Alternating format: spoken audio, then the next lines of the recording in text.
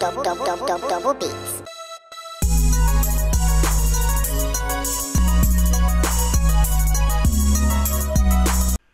So here is the uh, staff appreciation highlights. I didn't record that many games because I wanted to have more fun than uh, recording on only having 15 frames. So I recorded a few games and yeah, it was it was really fun. So shout out to everyone that was on the blue team, aka um, um, Doctor and Jugs' team. It was really fun. Our team wrecked everyone and um, yeah, it was really fun. So looking forward to the next staff appreciation from still the staff team. And um, there were a few bugs, but we got through it.